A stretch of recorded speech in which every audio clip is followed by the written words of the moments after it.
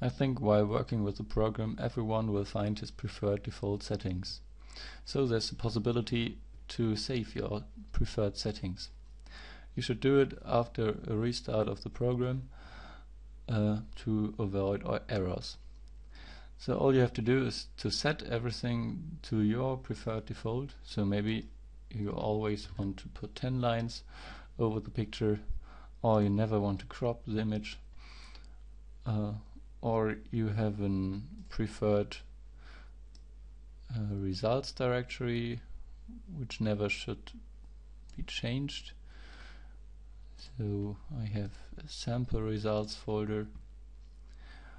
Or you always uh, want to uh, divide the histogram in 10 parts.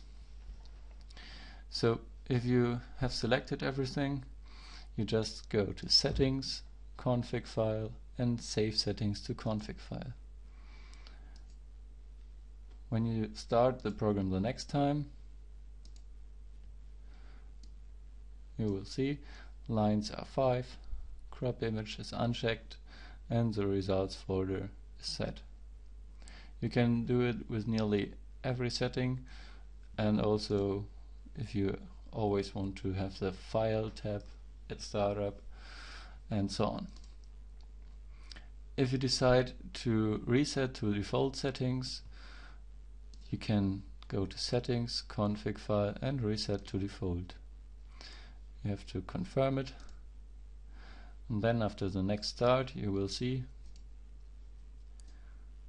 that the default settings with 5 lines and everything checked and no selected folder is restored.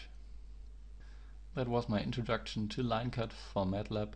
Hope you enjoyed and will have a great time with this app.